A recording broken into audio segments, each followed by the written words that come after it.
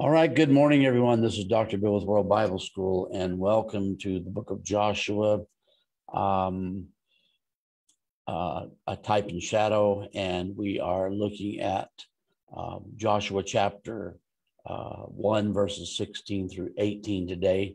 Uh, good to see everybody joining us today. Um, and uh, anyway, um, so um, this is uh, the book of Joshua, type and shadow, and we are looking at um, how that the book of Joshua, we're discovering how that the book of Joshua is filled with types and shadows of other things, such as the kingdom of God, the eternal Christ, and the finished work. And as we look here in the Old Testament, many people would not think that the book of Joshua or any other Old Testament book would contain so much revelation of the eternal truth Father God declared as the end result of the about you from the beginning of time. And uh, so uh, this is so powerful.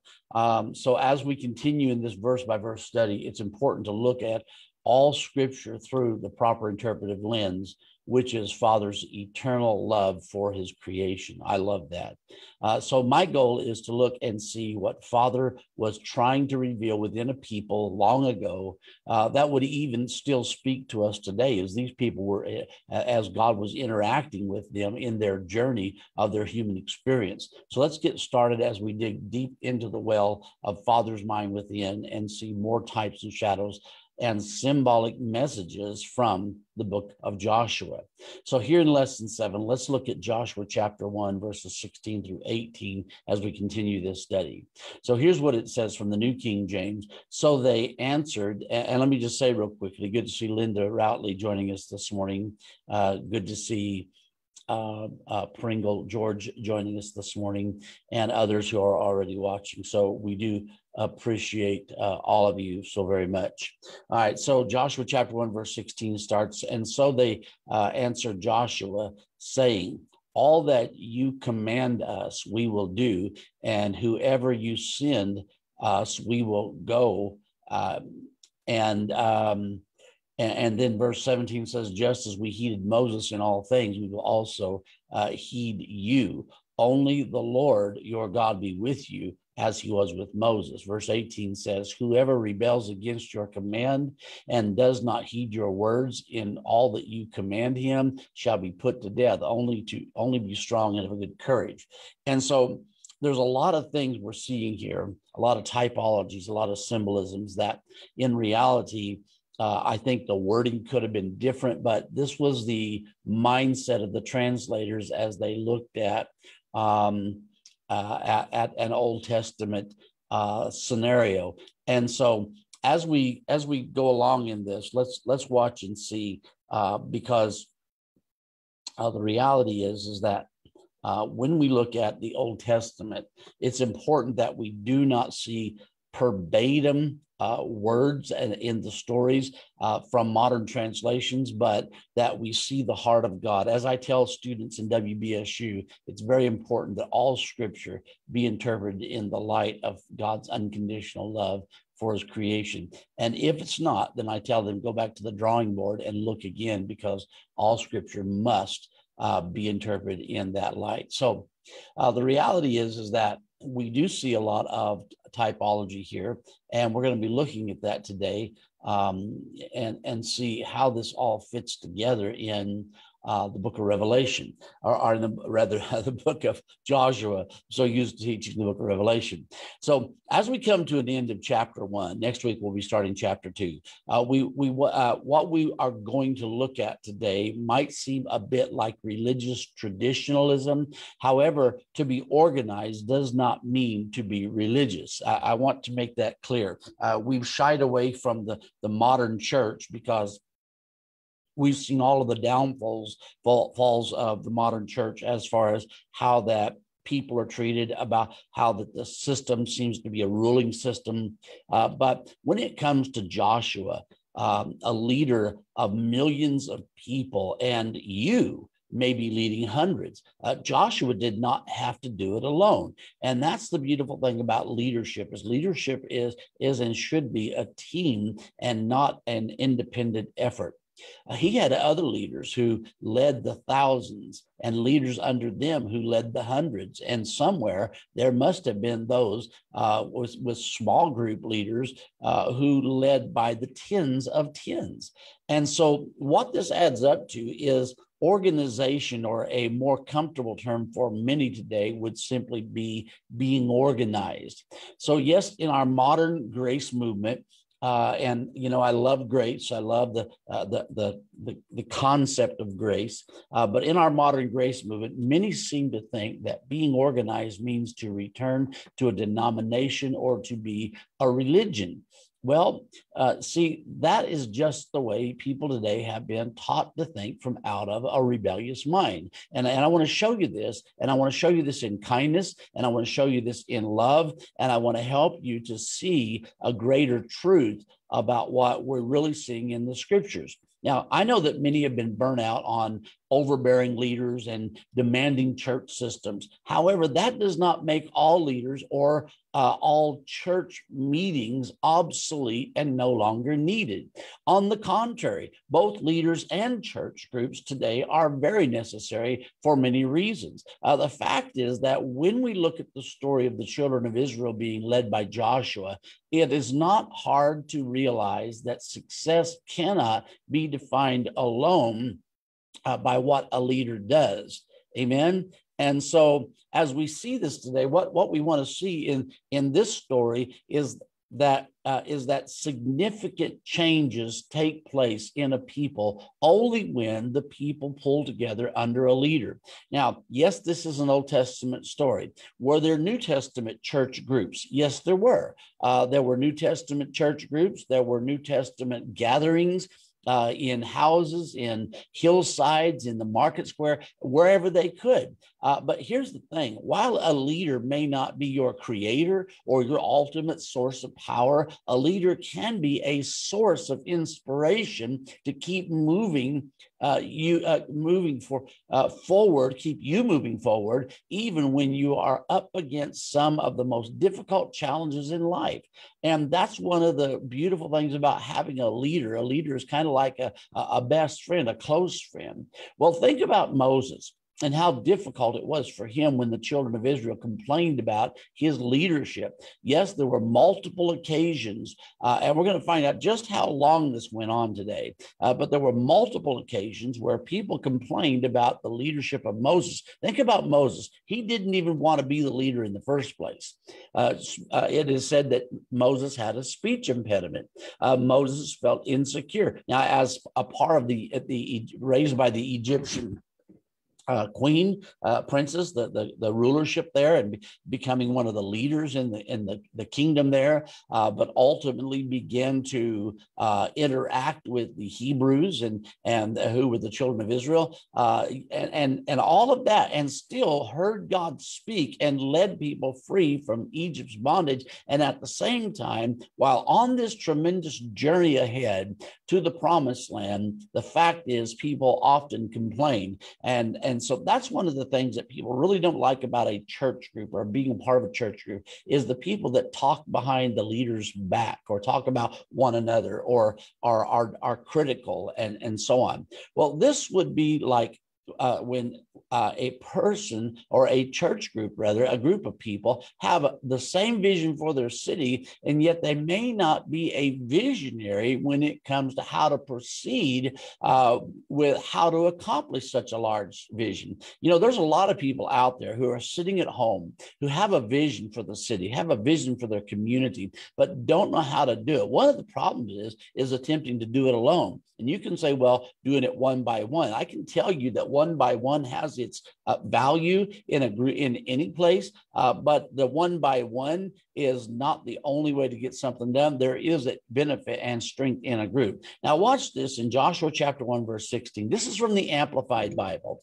Uh, they answered Joshua, saying, All that you have commanded us, we will do, and wherever you send us, we will go. Now, the word they mentioned here refers to the Reubenites or uh, Re, Reobeni uh, in the Hebrew. Uh, the Gadonites, which we've always said Gadonites, but it's really Gadi. in the Hebrew, and half the tribe of, Manasseh, Manasseh. Uh, and, and, you know, all of these words are not 100% accurate, but they're in the ballpark. And I'm not teaching a Hebrew class, I'm just giving you these words. Now, think about how difficult it must have been on this journey from Egypt, where they were in bondage for more than 400 years. Think about that. And now, having been released to go on a long walk across from Egypt to Canaan. Now, today we travel uh, to many meetings, many places by way of an automobile, uh, a car, uh, a vehicle. Uh, but the Israelites walked about 5,270 miles from the bondage of Egypt to their freedom in Canaan. The truth is that Egypt is a type of the world system or a way of thinking carnally instead of thinking spiritually. Uh, and, and so we all come from our own Egypt out of bondage to a place of thinking with freedom, to thinking more clearly, to thinking more positively. Well, for the Israelites, one thing that caused this journey to take them 40 years to arrive at the promised land was because of their complaining along the way. You see, after leaving Egypt, the, the, they, they were fed regularly in Egypt. They had a place to sleep in Egypt, even though it might have been a hut with, you know, maybe a, a straw floor. Uh, still, they had a place to lay. Uh, they had a place to gather, a place to get in out of the, the cold. Uh, but but the road was very long and at times very difficult. Notice the story as uh, we read from Numbers chapter 14, verse 2. And it says, All the children of Israel complained against Moses and Aaron, and the whole congregation said to them, If only we had died in the land of Egypt, or if only we had died in this wilderness. In other words, if we had died along the way, it'd have been so much better than uh, being out here away from a place of security in Egypt. Uh, they loved the freedom, not being under Egypt's bondage, but at the same time, there was some difficulties along the journey. You know, a lot of us love the, the uh, we, we visit a brand new church. Uh, we love the surroundings. We love what we're seeing. We love what's going on. But all of a sudden, because there maybe is something said the way that it said, or someone does something that a way that we don't appreciate, instead of turn our head to that, or instead of uh, them, uh, we simply run away from them. Well, here's the thing the children of Israel wandering for 40 years in the wilderness because of their constant complaining about the conditions they met while on this journey. So, what I'm telling you is not what's right or wrong in a church group. I'm telling you that so many times we just don't like the conditions. And so we complain, and it hinders us on the journey from becoming uh, uh, the person of revelation that we were intended to be. You see, the, the, the, the they, they wandered until the unbelieving generations died off who never stepped foot in the promised land. Think about that. Well, according to www.findandtheanswer.com. It says the actual trip should have taken 11 days. A seven-year famine was responsible uh, was uh, responsible for God's chosen people ending up in Egypt. And so where they ended up was one thing, but the journey they were on should not have taken that long. No, notice Numbers 32, verse 13 says, So the Lord's anger was aroused against Israel, and he made them wander in the wilderness 40 years until all the generations that had done evil in the sight of the Lord was gone. Now, uh, it is said that if it, the Israelites had walked in a single file with three feet in between them, the line itself would be, have been uh, over six times the length of the total trip, uh, which the people um, uh, would have extended over a uh, in a straight line, three feet apart, over 1,300 miles long. Uh, that's that's a lot of people. Uh, that's a lot. that's a long line. Well, if they had walked one mile a day and every day for nine months, they would have made it to the promised land instead of they took 40 years. So think about it. If you if you were to journey from Egypt to Canaan you're talking about 10, 11 days to get there, uh, even walking.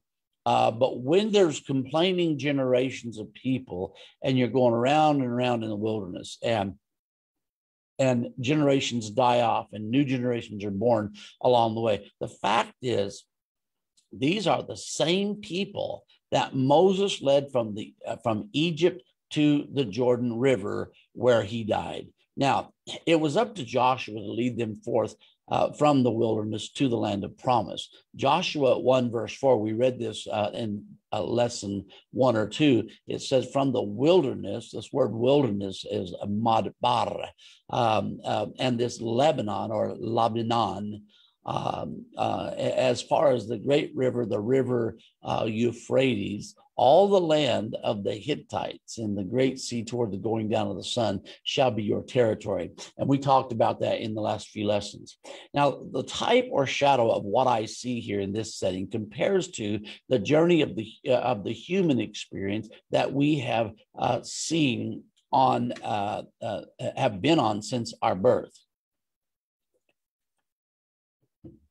some people say that life is just a journey. Well, I don't doubt that. It's a journey coming from point A to point B, point B being the place that really should have never ended, but often does. Well, here's the thing there are two births or two ways to see uh, this as it relates to you and I understanding our origin or our beginning. Uh, for the children of Israel, their journey did not begin in Egypt or in, in uh, bondage, yet that was all they could remember at the time. You know, sometimes people remember the bad things in life. They don't focus on the good things. They don't focus on the positive things.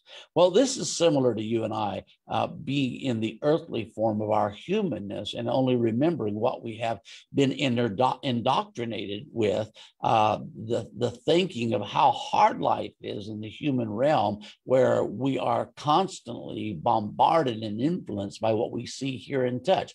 Think about how maybe our parents raised us, talking about how difficult life was. And really, that associated in their mind to growing up. Maybe they were born in the Depression. Maybe they were born in a very difficult time under a very difficult, uh, uh, uh, changing governmental system that made life hard for people. Uh, that could have been the case. But what you hear from that is how hard life is. So you grow up with this mindset of how difficult life is. Well, you see, some complain about life in general, even though this appearance realm is temporary by way of the fact that nothing stays the same. Second Corinthians 4:18 in the Passion Translation says, Because we don't focus our attention on what is seen, but what is unseen.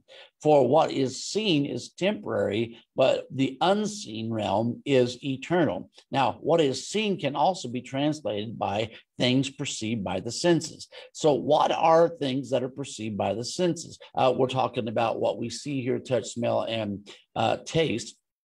Uh, we we could just focus on the what we see, here and touch, and and the the seen realm uh, the things that are perceived by the senses we look at uh, for example right now we were just talking to someone this morning um, uh, about how that that covid had hit their family uh, a light case and they were recovering. Here's the thing. We look at the coronavirus and we think that the things that we see here and touch uh, uh, that that is uh, hard that makes life difficult and we focus on that. But the unseen uh, but the seen realm the things that are perceived by the senses the scripture said here are temporary which means they're subject to change. They change from day to day. But the unseen realm or the things that are not perceived by the senses are eternal.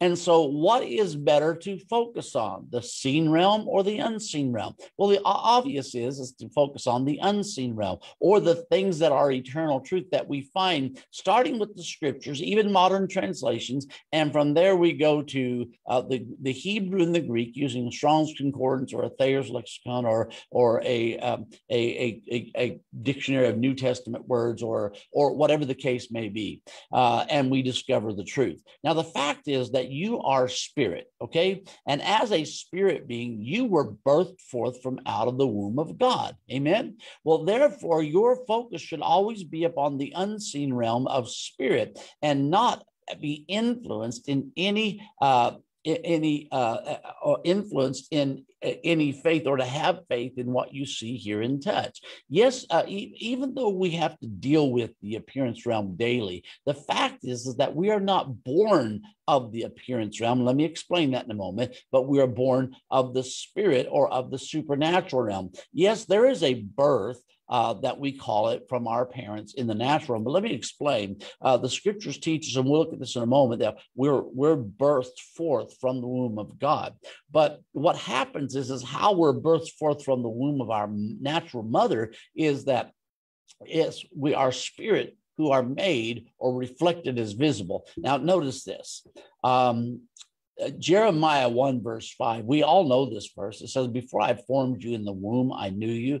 Before you were born, I uh, sanctified you uh, or set you apart. I ordained or appointed you as a prophet to the nations. While some may argue that we are not spirit beings who are birthed prior to a natural form birth of our natural uh, mother's womb, the fact is, is those who argue against and deny the evidence of the supernatural existence in eternity past, they also see that mankind existed in some form and at some point prior to being conceived in a mother's womb, uh, that God knew who they were. Well, the fact fact is, is that God's knowing of us is different when it is outside the natural realm that mankind understands, uh, since God is omniscient or all knowing after all, think about this. Just as God is eternal, uh, as in he uh, has always existed,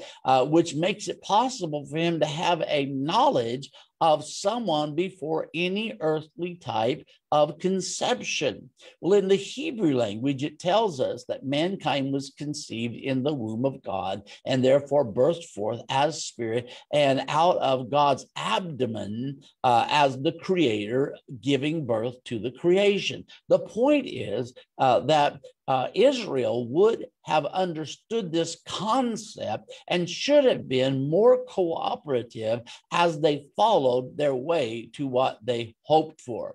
Isaiah 46, verse 3 says, Listen to me, O house of Jacob, and all the remnant of the house of Israel, who have been upheld by me from birth. Literally, this should read in the belly who have been carried from the womb. Uh, the word belly comes from the Hebrew word betan or beten.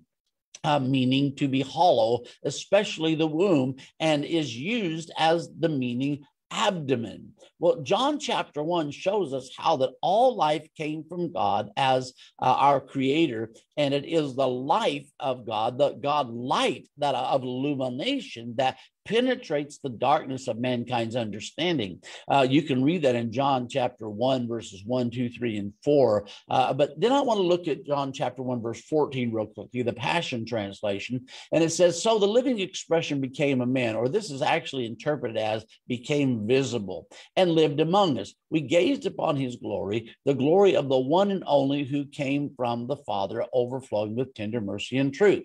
So to live among mankind is said to also mean to live within mankind, which is the fulfillment of Isaiah 7:14 in the Old Testament, which says, Behold, the virgin shall conceive and bear a son, and shall call his name Emmanuel, or literally God with us, or God within us. So not only was Christ among mankind in human form, but he has always been God with us, God with us, even in a time before time in pre creation where we were birthed forth from the womb of God.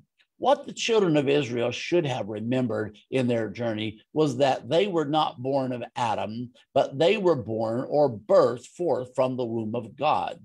Uh, that's a key thing that all of us need to remember. Now, think about this.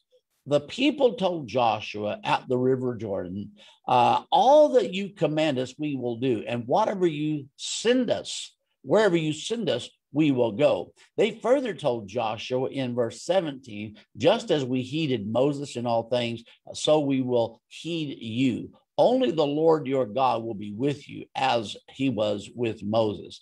So for me, uh, if I am going to be uh, going to faithfully follow a leader, now this is me. I, um, Dr. Faye and I do not pastor a church. Uh, we are not part of any uh, church group in that respect. Uh, but what we do is, is if we were to attend a church, Um, and we do have a church that we uh, we we have uh, gone to uh, on occasion, um, but you know.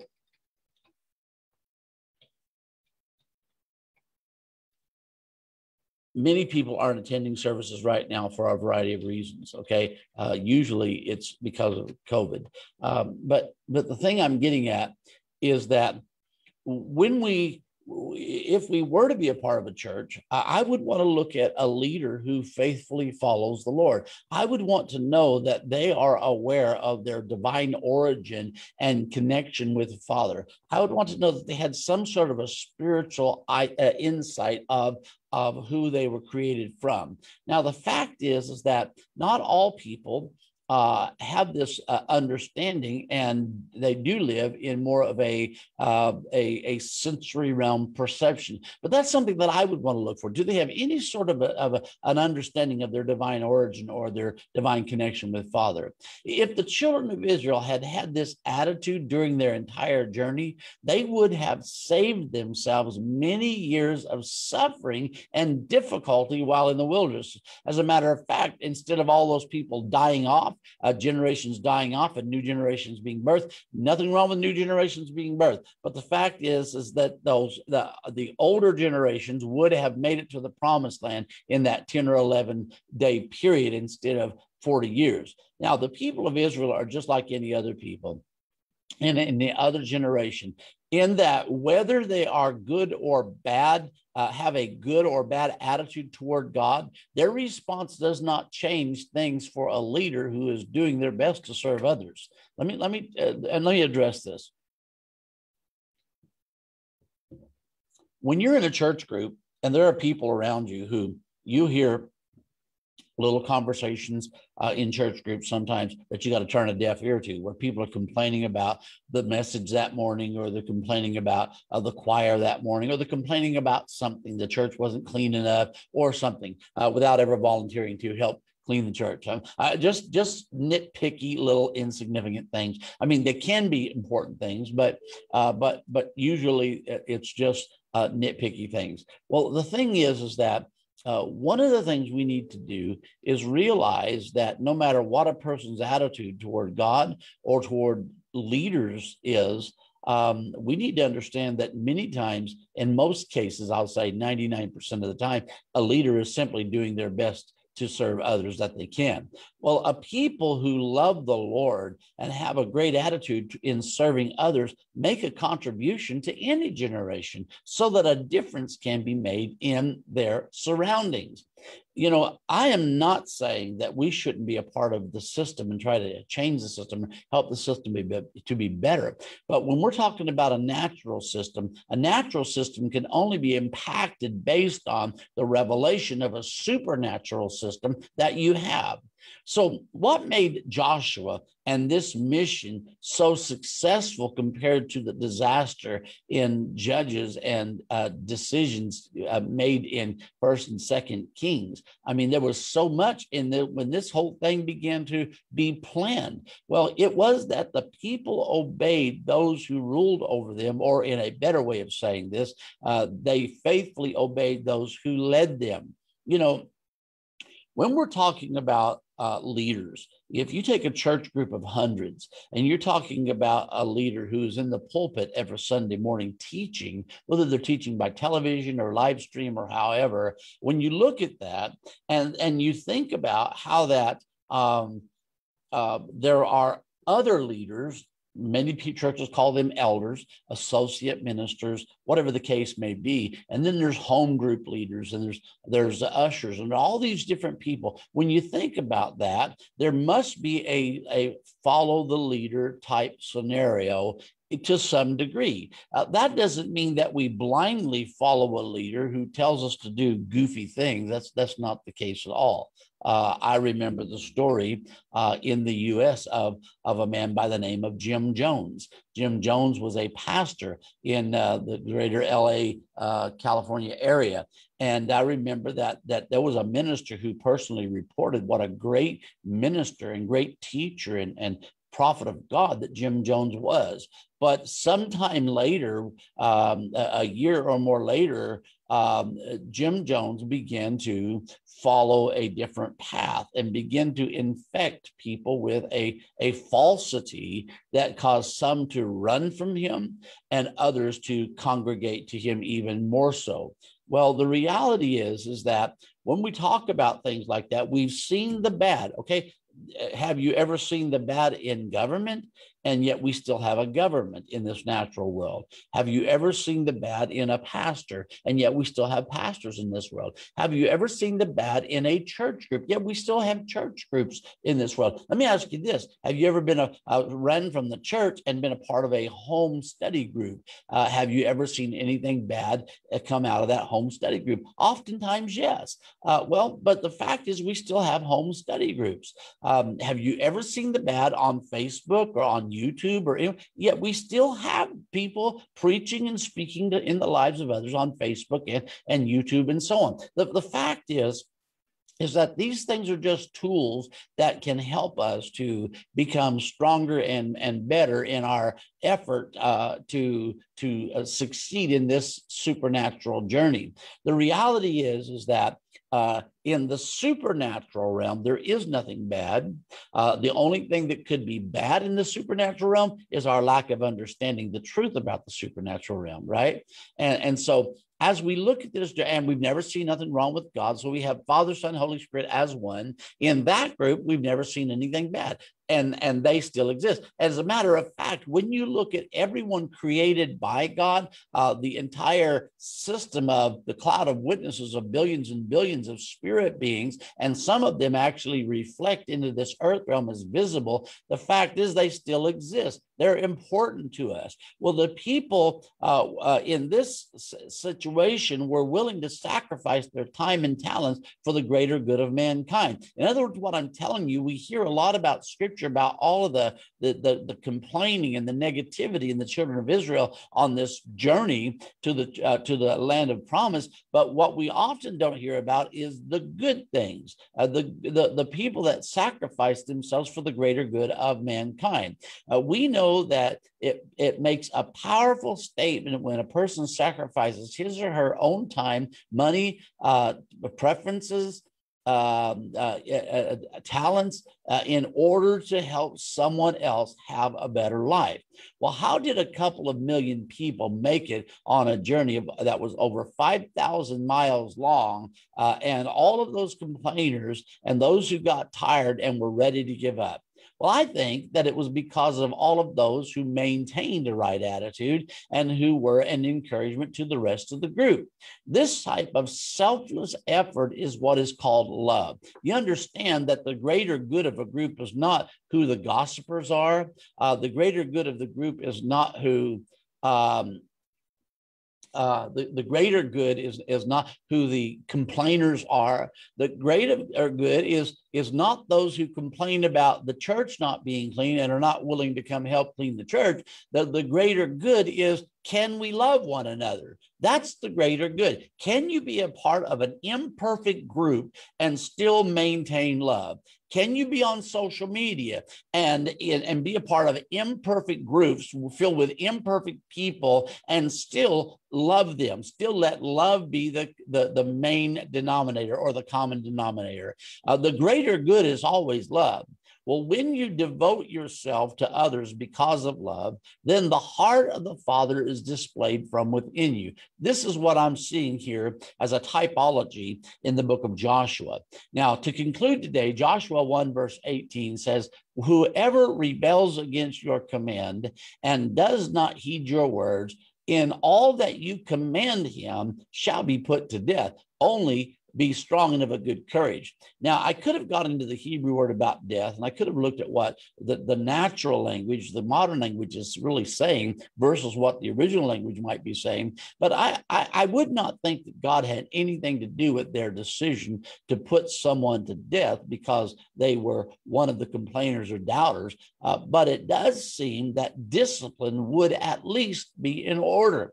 And so, can you imagine that Joshua passes down a word and Joshua speaks to the main body of leaders? Say out of 2 million, there were 200,000 uh, of, of, the main leaders under Joshua. In, in, reality, there was a main leader over each tribe, and then there were sub leaders in that group. So that ultimately, because we're not talking about we're going to text everybody in the group uh, in in the book of Joshua. It's not that we're going to send an email broadcast out to everybody in the group, or we're going to do a YouTube video to get out today's announcements. No, the fact is, is there had to be mouth to mouth communication. So as a leader would speak to a group, not everyone in the group probably heard what was said. So others had to pass it on until it finally reached all the people.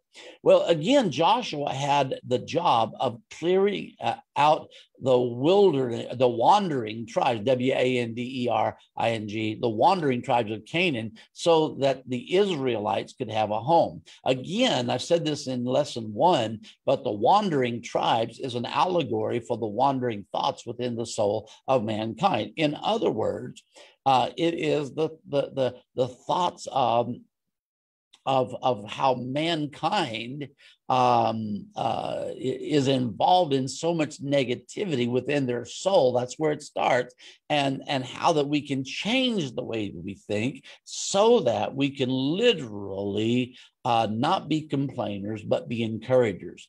Well, when serving in a group or being part of any group, rather, uh, whether 2 million or 200 or even 20 people strong, it takes keeping your own thoughts in line with the truth of who Father God created you as. And as these people walked purposely uh, from Egypt to Canaan, well over a 5,000 mile journey, they, there must have been a wave of love flowing among them, even if they had to keep reminding themselves each day of the journey. Think about it. The truth is, that what they were doing, we're hearing about the complainers in scripture, and by by by rights, it, it happened. But I want you to think about the greater good that was being done, the greater number of people who would just love one another and who would keep this wave of love flowing from one to another that kept them strong and kept them moving uh, forward in the journey. Joshua chapter 1, verse 16 through 18 is a picture of the love. Uh, uh, it's a picture of love in mass quantity due to the numbers of all of the Israelites there. So maybe you have an opportunity to join with a, a group that God is calling you to make some sacrifice of your time and talents. Maybe you're used to doing something different on a Sunday morning or on a Wednesday evening, but you sacrifice your time and you become a part of that group. Well, I want to ask you today are you holding back because you have been burnt by church groups before? Uh, what about the talents that God has gifted you with that can be a benefit to others in that group? Talents maybe that you're not using anymore because they don't really seem to have much private or personal personal value, but they were really of value to groups of people. Well, think about these 2.5 tribes of people who thought about not only the consequences of their decision to follow the leadership before them, but what about the consequences of not being there for that person or small group that needs what God has placed within you? See, it's not always about you the pastor said something that hurt my feelings. Uh, someone in the group, I was with a small group, maybe a Sunday school class or a Bible study class, and someone in the group really put my opinion or my view down and didn't agree with me. Think about that. It's so easy to walk in offense. It's so easy to get hurt. It's so easy to carry a grudge. Uh, but, the, but you know what is much easier than that? Uh, because, see, that's from the realm of the senses, the realm of what I see, hear, and touch, right? But the greater value is that which is eternal, and love is eternal. Hurt feelings are temporary, grudges are temporary, although there are people who attempt to hang on to them for a lifetime. Well, even life is like a vapor uh, of smoke, the scriptures say. Even life is just like a, a short time. Uh, well, it doesn't have to be, life can be much more than that. Well, remember that the group, uh, the church group you were once a part of, was not God who did you wrong. Uh, remember remember that the leader who may not have served you well was not God who uh, who who actually uh, went above and beyond by creating you and placing his life within you. The reality is, is that it was never God. And, and if God established the church system, now keep in mind that the church is an organism, it's a living organism of billions and billions of people in the spirit realm. And some of us have manifested in this natural earth realm. The reality is, is that that we walk by faith, not by sight. We walk by that which is eternal, not by that which is temporary. So there's always another way to look at things around you. And instead of complaining about the journey, join in with the group and be one who remains strong and of a good courage uh, and imparts uh, what the one standing or sitting next to you actually needs, right?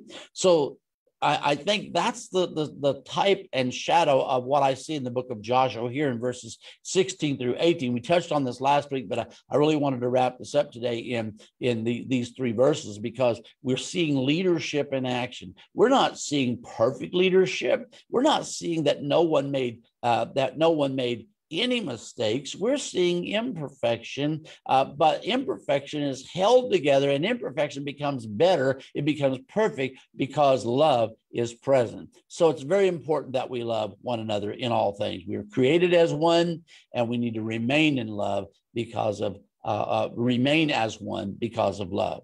So I hope you got something from this lesson today. And I just encourage you to join me next time for more on the book of Joshua, uh, a type and shadow, as this verse by verse study unfolds and we go to uh, Joshua chapter two. I'll see you next time. Thank you so much for joining me. Joining me tomorrow night. Uh, Pastor Mike Popovich is going to be with me on Kingdom Dynamics Friday morning it's been confirmed uh, that uh, Bishop uh, uh, um, uh, Kirby uh, De Lanerolle uh, from Sri Lanka is going to be with me on Friday morning conversation starting this week. So we'll see everybody then. Thank you so much. Bye bye, everyone.